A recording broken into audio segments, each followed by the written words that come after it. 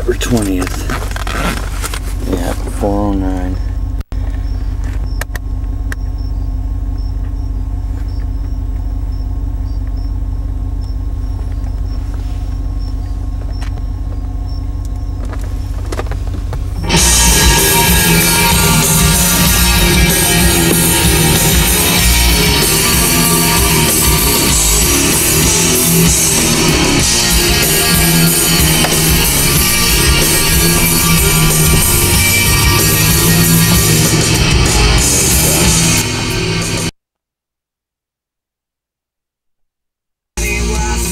feeling this mission will see.